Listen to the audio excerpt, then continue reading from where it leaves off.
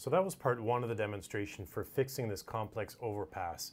As you'll see when we complete part two, really in a matter of minutes, we'll be able to fix this whole overpass and it's just a whole lot simpler, all working within Geomatica.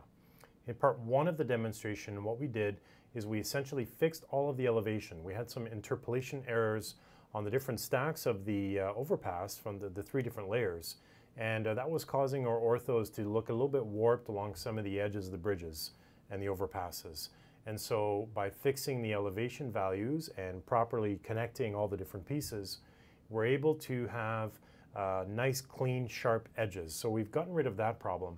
Now the next problem we have is uh, because the uh, pictures that are taken on board the uh, high resolution camera on board the plane are taken from different angles, we have areas of occlusion, we have areas of duplication, uh, where there is basically no data in our final uh, product uh, that, we that we have right now.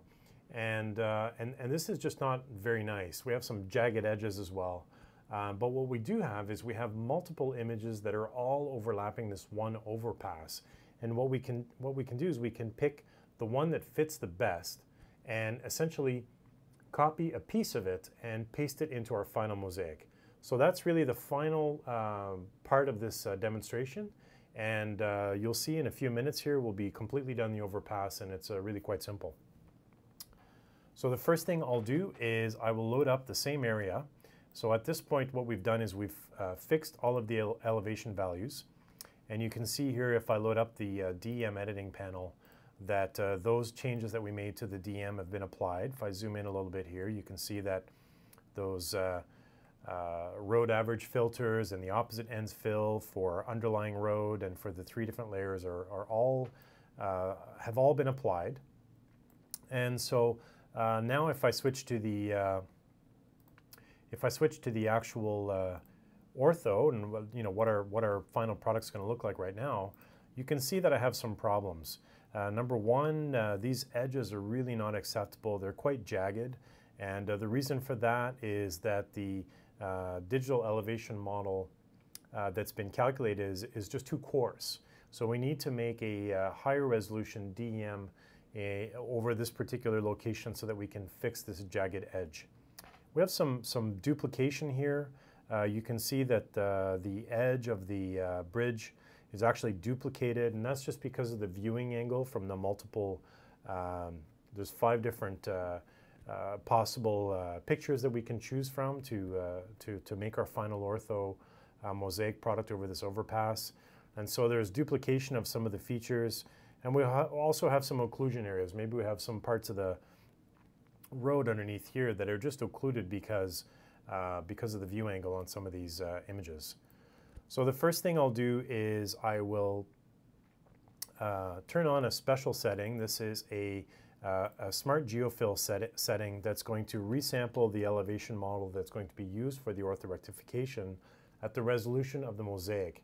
And that's really what's going to allow us to have nice clean edges. So I'll go ahead and do that. I'll go back to my, uh, my polygon, uh, edit, edit via polygon tab, and I'm going to open some uh, polygons which have already been drawn. These have been very precisely drawn along the edge of the overpass, the different uh, parts of the overpass. And uh, so you can see them here that we've actually broken down this overpass into a, a series of uh, smaller polygons that we want to essentially take, take the best image, copy from it, and then paste it into the final mosaic. So I'll define a one-to-one -one ortho preview so that I can take a look at um, the best ortho that's going to fit into the final mosaic. So what, what it's doing now is it's essentially uh, taking all of the overlapping uh, images for the one-to-one -one ortho preview uh, area that I've selected. It's applying that special setting, so it's resampling at 15 centimeters the DEM. It's orthorectifying all of the images to give me a preview uh, here in the window. Okay, so as you can see, I've selected the uh, polygon and uh, what I can do is I can actually um, look at the uh, best matching ortho. I have multiple ortho images that I could be using for this particular location. So if I cycle through them, or with ortho 1, there's a complete discontinuity here. If I pick uh, ortho 2, that looks a little bit better, but again, i am getting some duplication. Ortho 3 looks pretty good.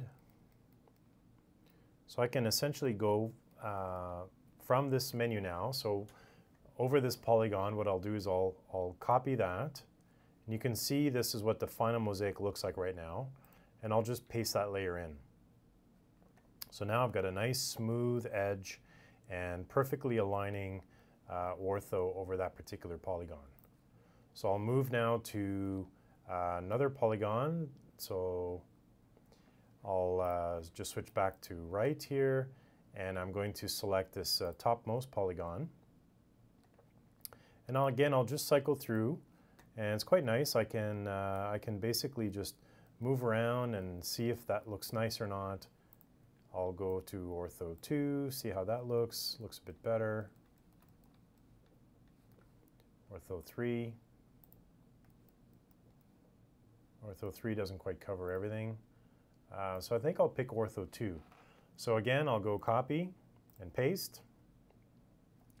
And I've fixed uh, that portion of the uh, overpass. You can see it looks pretty good on my final mosaic.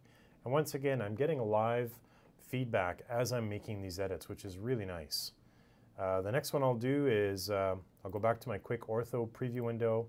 I'll pick this polygon here. And uh, you can see I've got some areas of occlusion here and some duplication. So I'll just cycle my way through the different orthos. Obviously not that one. That one doesn't look very good. This one either. Ortho 3 looks pretty good, but I don't have data all the way across. So how about ortho 4? Looks like ortho 4 is my best bet in this case.